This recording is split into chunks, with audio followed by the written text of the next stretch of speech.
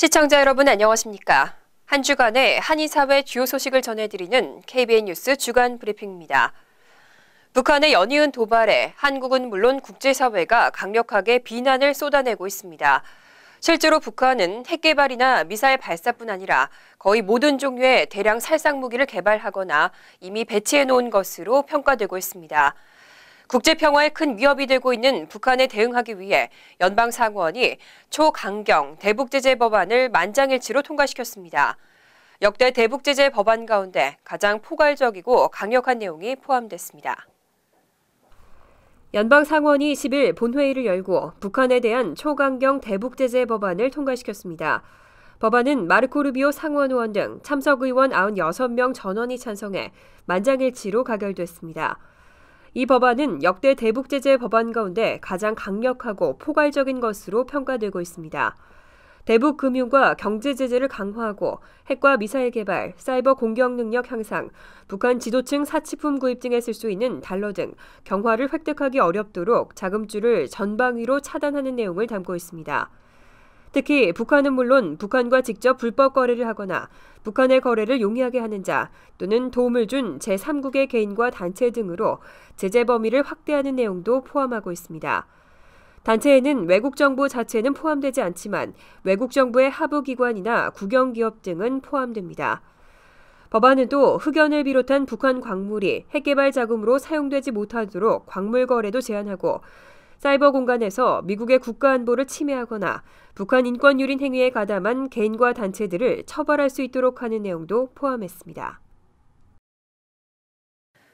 지난 9일에는 각 당의 대통령 후보를 뽑는 두 번째 경선 뉴햄프셔 프라이머리가 열렸습니다. 프라이머리에서는 민주당 버니 샌더스 후보와 공화당 도널드 트럼프 후보가 압도적 승리를 거뒀습니다. 정세진 기자가 보도합니다. 어제 치러진 뉴햄프셔 프라이머리.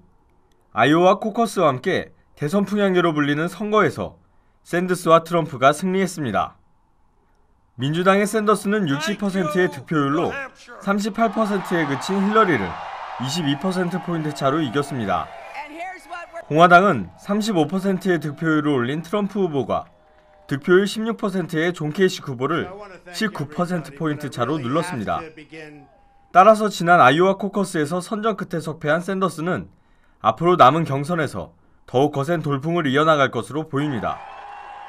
샌더스는 유엔프셔 승리 직후 수시간 만에 260만 달러의 선거 자금을 모금해 인기를 실감할 수 있었습니다.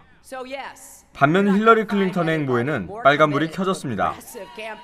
전국적인 지지율에서는 앞서고 있지만 이번 경선의 패배는 큰 부담으로 작용하고 있습니다. 공화당의 트럼프는 아이오와에서 크루즈에게 당했던 일격을 단번에 만회하며 다시 돌풍을 점화하는 계기를 마련했습니다. 더욱이 크루즈와 루비오를 큰 폭으로 누름에 따라 향후 레이스에서 이렇다 할 경쟁자가 없는 것 아니냐는 분석도 나오고 있습니다. 다음 승부의 장은 오는 20일과 27일 네바다와 사우스캐롤라이나에서 펼쳐지고 3월 1일에는 12개 주가 동시에 실시하는 슈퍼화요일 경선이 이어집니다. KBN 뉴스 정세진입니다. 지난 월요일은 우리 민족의 고유 명절 설날이었죠. 뉴욕시 공립학교는 설날을 맞아 사상 처음으로 휴교했습니다.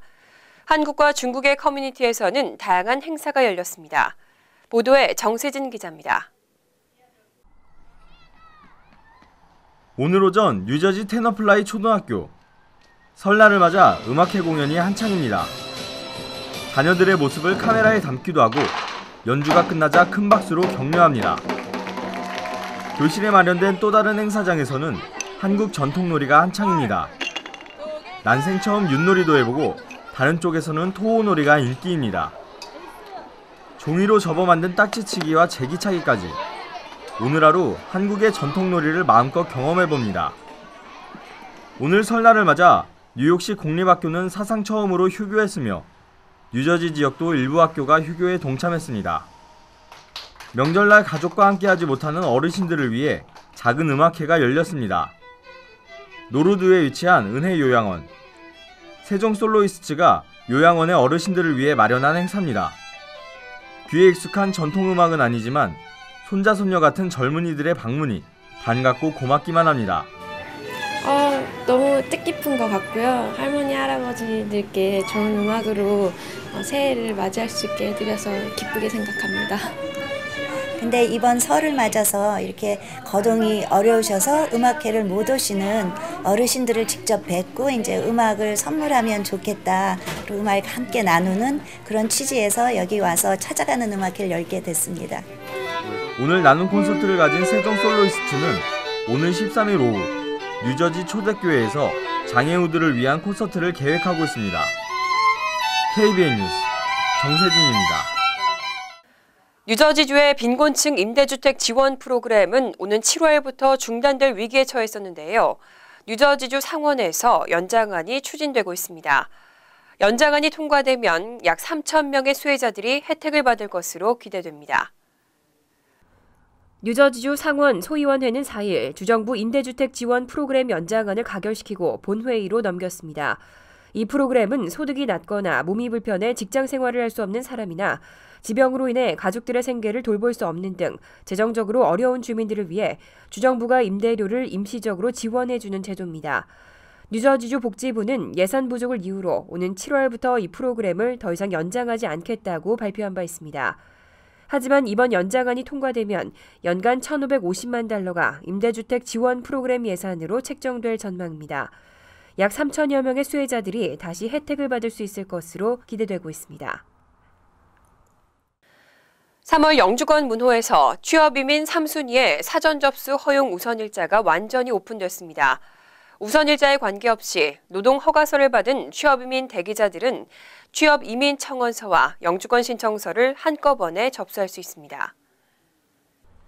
연방 국무부가 8일 발표한 2016년 3월 영주권 문호에 따르면 취업 3순위를 비롯한 취업이민 모든 순위의 사전 접수 허용 우선일자가 완전 오픈됐습니다. 취업 3순위를 포함한 모든 취업이민 신청자들은 3월에 1단계인 노동허가서를 받은 경우 2단계인 취업이민 청원서와 영주권 신청서를 한꺼번에 접수할 수 있게 됐습니다. 아울러 워크퍼밋과 사전 여행허가 신청서도 제출할 수 있게 되면서 영주권을 받기 이전이라도 합법적인 취업은 물론 외국 여행도 가능해졌습니다. 취업 3순위는 또 영주권 판정 우선일자도 2016년 1월 1일로 공시돼 전달보다 3개월 진전됐습니다. 가족이민 영주권 문호는 사전 접수 허용일자가 전면 동결됐지만 영주권 판정일자는 소폭 진전했습니다. 특히 가족 1순위 시민권자의 미혼자녀 부분 영주권 판정일자는 한 달 앞당겨진 2008년 8월 8일을 기록했습니다. 뉴욕시립대 법대와 시민참여센터가 공동으로 무료 이민법 상담을 시작했습니다. 영주권과 시민권 신청 대행 등 이민 관련 모든 사항과 관련해 상담 지원을 받을 수 있습니다. 시민참여센터는 9일 이민자들에게 양질의 법률 서비스를 제공하고 이민 사기를 방지하기 위해 뉴욕 시립대와 함께 한국어로 무료 이민법 상담을 실시할 계획이라고 밝혔습니다. 시민참여센터는 한인사회의 프로그램 아웃리치를 담당하고 뉴욕 시립대 법대 측은 뉴욕주에서 자격을 갖춘 변호사를 제공합니다. 프로그램은 9일부터 오는 6월까지 주말을 제외한 월요일에서 금요일 오전 9시부터 오후 6시까지 운영됩니다. 시민참여센터 측은 영주권과 시민권 신청 대행 등 이민과 관련된 모든 사항에 대해 상담을 제공한다며 한국어 구사가 가능한 이민 전문 변호사가 상담을 맡을 것이라고 밝혔습니다. 이번 무료 이민법 상담을 받기 위해서는 사전에 전화나 이메일을 통해 예약하고 시민참여센터를 방문하면 됩니다. 한편 뉴욕 한인 변호사협회도 매월 첫째 주 화요일에 퀸즈와 맨하튼 두 곳에서 정기 무료 법률 상담 행사를 진행하고 있습니다. 미국 국적을 포기하는 한인들이 갈수록 늘고 있는 것으로 집계됐습니다. 대부분 조세 당국의 세금 추적을 피하는 고소득자들이라는 분석입니다. 연방국세청이 8일 발표한 2015년 시민권 반납 명단 자료에 따르면 지난 한 해에만 153명이 넘는 한인들이 시민권을 반납한 것으로 추산됐습니다. 2014년에 102명과 비교하면 51명 증가하고 무려 50%나 늘었습니다. 또 지난해 사상 최대를 기록한 미국 전체 국적 포기자 4,279명 중 3.5%를 차지했습니다. 한인 인구 비율은 미국 인구 중 1% 미만인 점을 감안하면 이와 같은 국적 포기율은 매우 높은 것이라는 지적입니다. 지난해 한인을 포함한 미국 국적을 포기한 전체 국적자 또는 장기 영주권자도 사상 최다인 4,279명을 기록했습니다. 미국 국적 포기는 2013년부터 3년 내리 증가세를 보이면서 최근 7년 사이 무려 18.5배나 급증했습니다. 전문가들은 국적 포기자들의 상당수는 연간 소득이 9만 7,600달러가 넘는 고소득자일 가능성이 크다고 설명했습니다. 한국 등 해외 금융 계좌에 5만 달러 이상을 예치해둔 시민권자나 영주권자의 정보가 의무적으로 IRS에 통보되고 은닉 재산의 적발 가능성이 높아지면서 납세자들의 발에 불똥이 떨어졌기 때문이라는 분석입니다. 다음 달부터 개정 SAT 시험이 실시되는데 지문의 읽기 부담이 커질 것이라고 전망되고 있습니다. 특히 수학 영역에서도 상당한 읽기 능력을 요구하면서 아시안 이민자 학생들에게 불리할 것이라는 우려가 제기됐습니다. 오는 3월 5일부터 실시되는 개정 SAT에서 독해와 수학 영역의 읽기 부담이 커질 것이라는 전망이 나오고 있습니다. 시험 형태가 새롭게 바뀌면서 독해 영역의 경우 지문의 단어 수준이 높아지고 지문 길이도 종전 시험에 비해 길어지며 수학도 읽기를 기반으로 하는 문제 비중이 대폭 늘어날 것으로 예상되고 있습니다.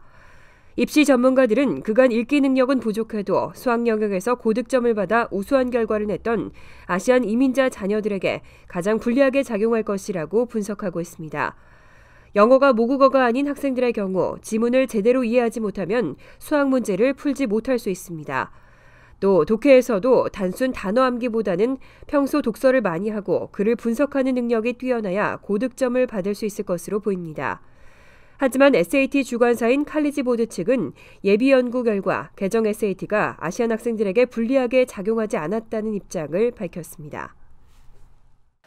이번 주말 올겨울 들어 가장 추운 날씨가 예보됐습니다. 오늘과 내일 모두 밤 최저 기온이 화씨 10도 밑으로 내려가면서 섭씨로는 무려 영하 17도까지 내려갑니다. 올겨울 지구촌 곳곳에서 기록적인 추위가 기승을 부리고 있는데요. 이로 인한 저체온증 사망자가 잇따르고 있습니다. 추운 날씨에 오래 노출되거나 특히 음주를 하는 경우 저체온증의 위험이 커집니다. 되도록 야외 활동은 자제하시는 게 좋겠습니다. KBN 뉴스 주간 브리핑 여기서 마칩니다. 시청해주신 여러분 고맙습니다.